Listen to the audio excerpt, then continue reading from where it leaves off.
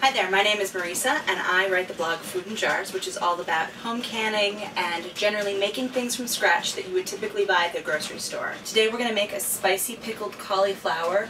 We're going to pack the jars with lemon and garlic and a bunch of spices and then pour over a brine that has been spiked with cayenne pepper. So let's get started. Come over to the stove. So the first thing I'm going to do is pull out our canning pot, which is this guy back here. In it are the three jars we're going to use today.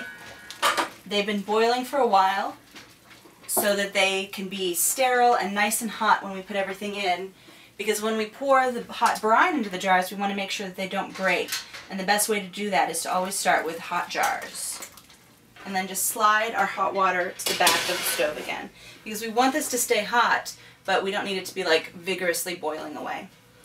So I like this pot because it's called a fourth burner pot. So it's nice and tall and skinny. So I'm going to turn up the heat and into here I'm going to pour a cup and a half of white vinegar. I'm going to do it without spilling. Woohoo! So I'm going to pour a cup and a half of filtered water.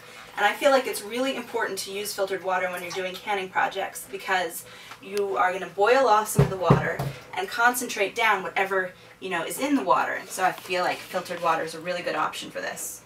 So in that goes as well. And I'm going to add two tablespoons of salt.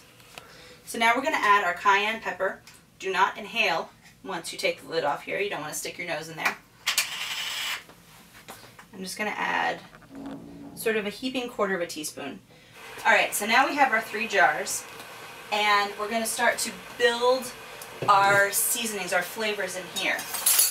I'm just going to take a lemon and cut myself six thin slices. I'm going to lay a nice slice of lemon into the bottom of each jar.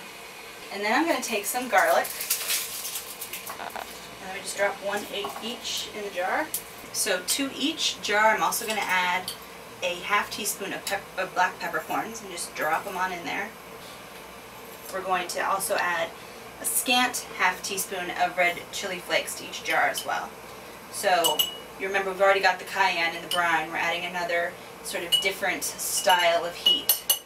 I'm going to add half a teaspoon of mustard seeds to each jar as well. So that's our flavors for this pickled cauliflower in the jar. Now I'm going to quickly break down our cauliflower. Just a standard cauliflower.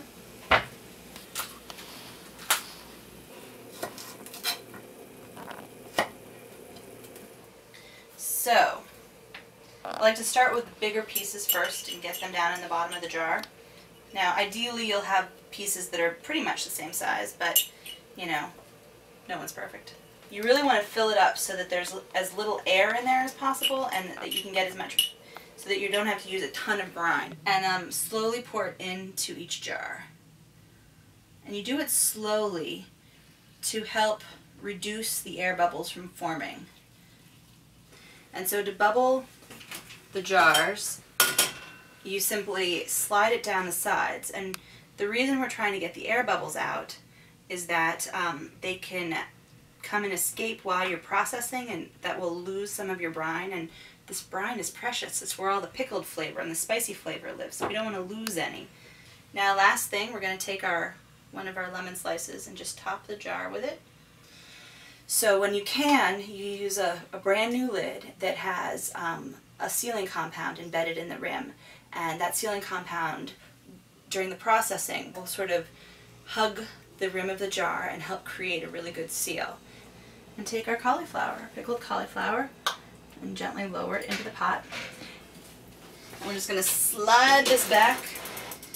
And as soon as it comes up to a boil, we'll set our timer for five minutes and at that point the jars will be done. So the timer just went off and our spicy pickled cauliflower is ready to come out of the canning pot.